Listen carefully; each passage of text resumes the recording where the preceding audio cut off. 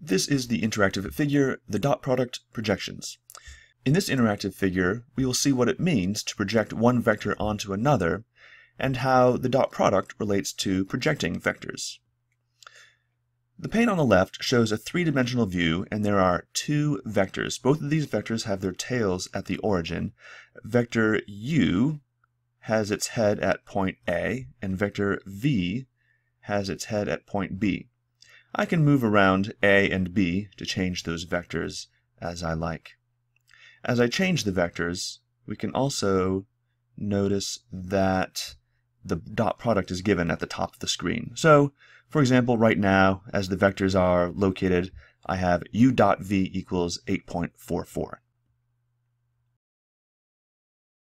In the interactive figure, w is the projection of v onto u.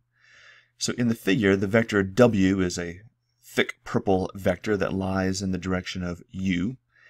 And one way that people often think about projection is like a shadow. We imagine that the vector v casts a shadow onto vector u. So that shadow is cast perpendicularly right onto u. Another way that I like to think about projection is asking how much of v lies in the direction of u. What component of v is in the u direction? Let's take a look at some of these lengths. The length of this projection, that is the vector w, the length of this projection is 2.56 units. You should confirm that vector u has coordinates 3.5, negative 1.25, 1.75, and it has a length of 4.11 units. You can also confirm that vector v has coordinates 1.75, 1.75, 3.75, and it has a length of 4.49 units. Now, when you play with the interactive figure, uh, to confirm this, you can just move the three-dimensional view around and get a rough estimate for the coordinates of points A and B to confirm that. And then remember that the length of a vector is the square root of the sum of the squares of the coordinates. Well, how are these lengths related to each other? Well, it turns out that the length of the projection times the length of u is the dot product.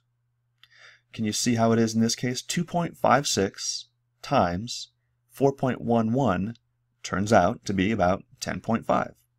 And no matter how I change my A and B, that relationship will continue to hold. So why is that so?